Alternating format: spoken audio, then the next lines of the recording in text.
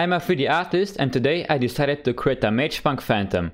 But before we start, don't forget to check out all of the other concepts that I made in the past, like the Magepunk Butterfly Knife. And write your suggestions for the next skins in the comments below. As you might know, Magepunk 2.0 got leaked. Not like actual photos, but it is confirmed that it is in the works. And this comment could very well be real. And now it's time to cleverly tell you to like and subscribe and watch until the end to see the final animation. Oh wow, I just did that. Okay, let's start. This concept took relatively long to create, because it was hard to create a design that looks chaotic and clean at the same time. The first thing I did was to create a rough design in Photoshop. This helped me to get started in Blender. I started with the base mesh in Blender where I added some parts to it.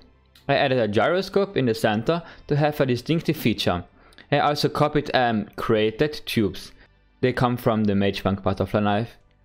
I worked them into the design. My thought is that the tube connects to the power source, the glass vial, with the gyroscope.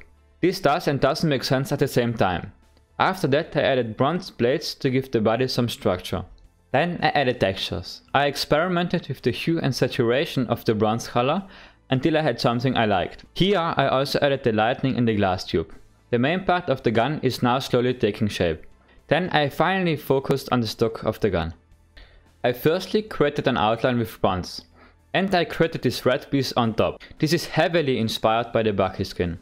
Then I added the wood texture on the stock. After that I repositioned the circular thingy that combines the stock with the main part. I also removed the mechanical arm, but it comes back later. Right? After that, I finally added the viewfinder and I cleaned up some small detail. Now we come back to the mechanical arm. It was a pain to rig the arm correctly and I spent a lot of time on it. But after I finally did it, I could focus on making it pretty. For this, I took a lot of inspiration from the Marshal skin this time. I finally did it. Now I could focus on the animation that you can see in a second.